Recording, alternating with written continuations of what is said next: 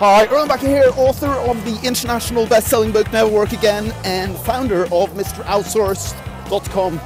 Today I'm here with all my gorilla friends and I saw this run in London about seven years ago and I've always wanted to do it. So I'm just crossing off another thing on my bucket list with all my monkey friends here and uh, let's see how this goes.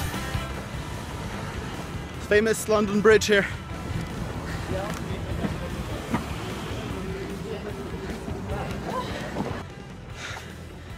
So here we have it, Tower London, the helmet, and here's the sign for me to run.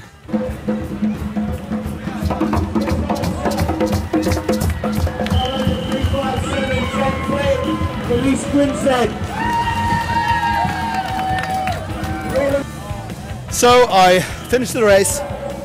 I'm quite sweaty.